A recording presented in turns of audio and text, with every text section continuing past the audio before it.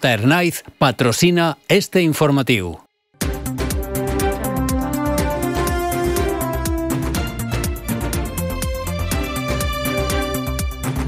El projecte de desdoblament de la via del tren entre Cullera i Gandia, de nou paralitzat.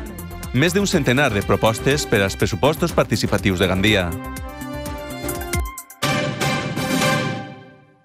És una de les denúncies en matèria de mobilitat que realitzaven ahir a Gandia des de la formació Compromís, en concret l'edil Alicia Izquierdo, Assunta Domínguez, presidenta de la Mancomunitat de Municipis, i Dolors Jimeno, diputada de Mobilitat. Segons denunciava ahir davant dels mitjans l'edil de Gandia, Alicia Izquierdo, a pesar que fa unes setmanes que el govern denunciava que el projecte de desdoblament de la via entre Gandia i Cullera tenia ja una partida pressupostària de 77 milions d'euros, ha sigut de nou paralitzat a petició del propi Ministeri sense motiu aparent. Des de Compromís Més Gandia Unida demanen una explicació i no entenen aquesta decisió quan es porta ja sis anys treballant en la redacció de l'informe d'impacte mediambiental.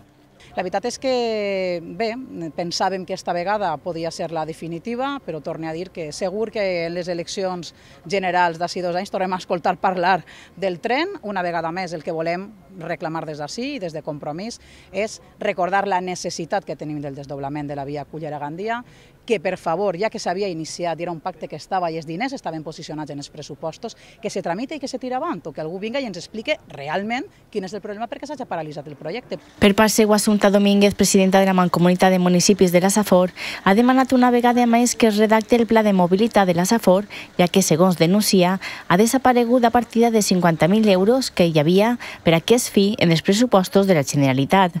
Per això realitzaran una esmena perquè es reculla de nou en aquests pressupostos i que es trasllada el projecte a la Mancomunitat perquè es pugui executar.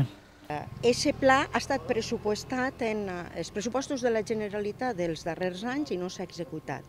La nostra sorpresa, la sorpresa que ens hem trobat, és que la redacció d'aquest projecte o d'aquest estudi que permetria a la gent poder traslladar-se als seus llocs de treball, als centres d'estudis, als centres sanitaris, en transport públic, en autobusos, eh, ha desaparegut.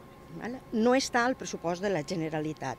Finalment, Dolors Jimeno, diputada de Mobilitat, reivindicava una vegada més el tren de la costa, que considera una infraestructura molt necessària que no es pot substituir per un tramvia és molt necessària aquesta infraestructura i no la podem substituir per un tramvia, per un tramvia que unisca eh, molts pocs pobles, que faça moltíssimes parades, que de Denia a Gandia tarda més d'una hora i que després, per a poder connectar amb València, tarda una hora, una hora i mitja més. Eh, hem de facilitar a la població la connexió, totes les connexions i la vertebració del territori ha de ser real i, efectivament, si a un usuari o usuària li costa molt més anar en transport públic a un punt determinat que anar en vehicle, utilitzarà el vehicle. Afiliats i simpatitzants de Compromís per Gandia han redactat un manifest i començat una recollida de signatures perquè el procés de primàries de la formació nacionalista per a elegir a la persona candidata a les eleccions municipals de 2023 siga un procés obert. En dos dies s'han recollit 150 signatures d'afiliats i simpatitzants de Compromís per Gandia, que entenen que les primàries obertes a tota la ciutadania han sigut i són fonamentals per a garantir una democràcia plena i participativa. Entre les persones que donen suport a aquest procés obert destaquen alguns alguns noms coneguts del partit com Ferran Martínez, Vicenta Ferrer, Lluís Romero, Pilar Reina, l'exregidora d'Educació Laura Morán, a més de l'actual vicealcalde i portaveu del grup municipal Josep Alandete. A través de les primàries obertes, qualsevol afiliat o simpatitzant pot participar en el procés d'elecció de candidat prèvia inscripció. En aquest sentit, Josep Alandete assegurava al grup Radio Gandia que presentarà la seva candidatura a les primàries a l'alcaldia amb aquest requisit, que existisca una igualtat de condicions i participe el major nombre possible de persones.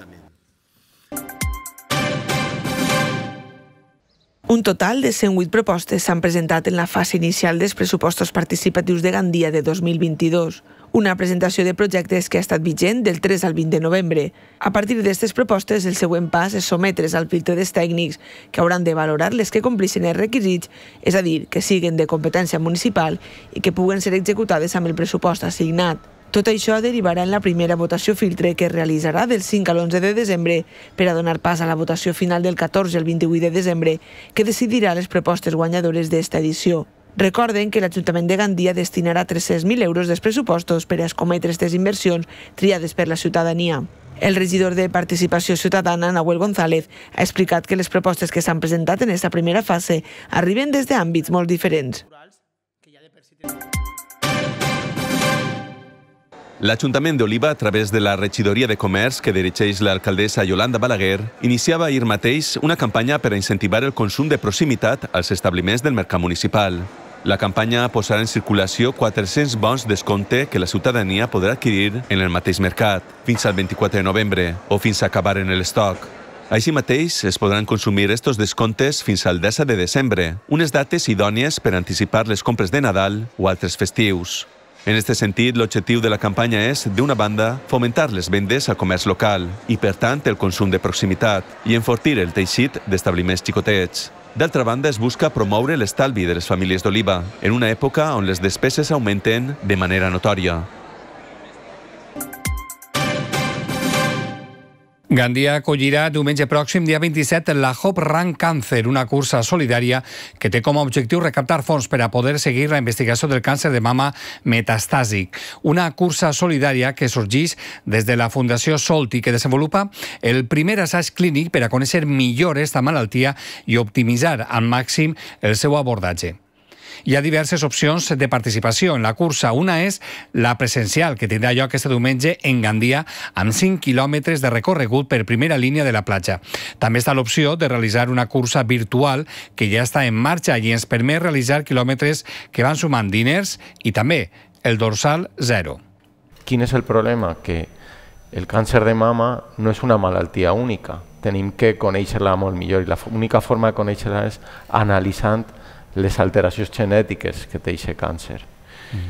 Per analitzar aquesta genètica necessitem uns tests que a dia d'avui pues, molts d'ells no estan en la cartera de serveis de la, de la salut pública i el pacient se'l té que, que pagar i estem parlant de, de tests que poden estar rondant els 3.000 euros. Tota la informació està disponible en la web hopram.soltihop.com com? Bueno, ja tenim esta setmana sí. els dorsals que estaran en farmàcies i ah. estaran en col·latges i en la nostra sede. Gandia Solidària i sí. més, eh, ell és un oncòleg és de Gandia i damunt molt buigut i nosaltres eh, anem de la mà, o sea, que, que tenim que apoyar i, i anime a tota la gent, encara que no puga vindre un hòstig així, a comprar el dorsal.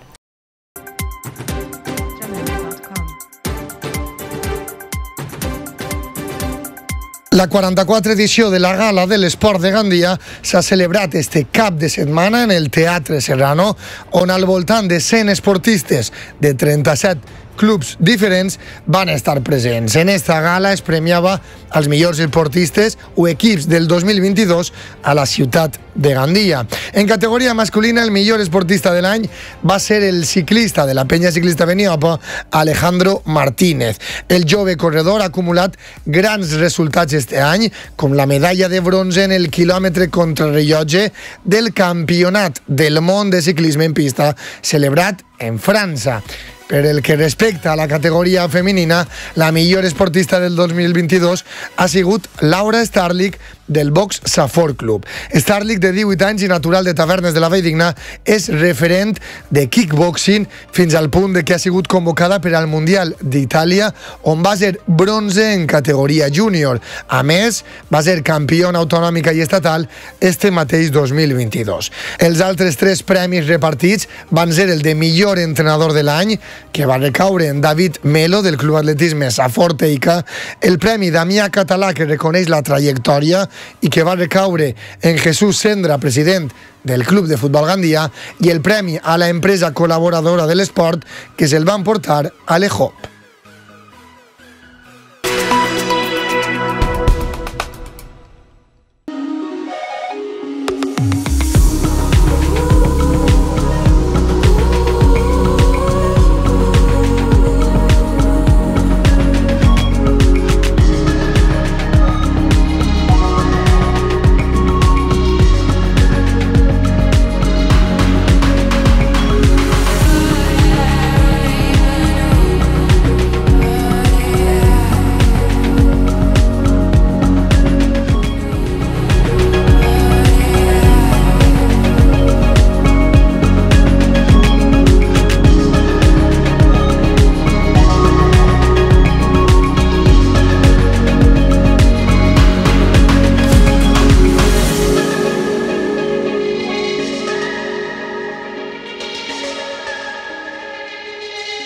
J. Arnaiz ha patrocinat este informatiu.